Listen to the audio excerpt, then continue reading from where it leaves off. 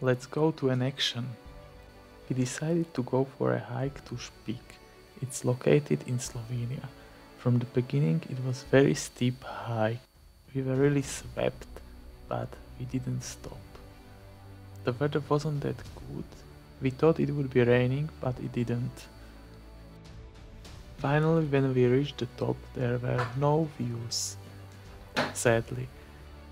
We were resting and eating some snacks and wanted to go back down. We were thinking about taking another way back. But after a while holes in clouds appeared. So we decided to stay longer on the top.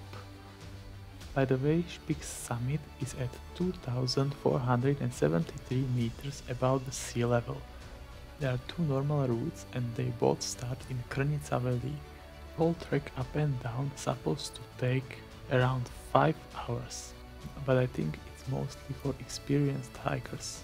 On our way back we could admire big walls of Škrlatica peak. Finally the weather was getting better and better and we took some nice pictures.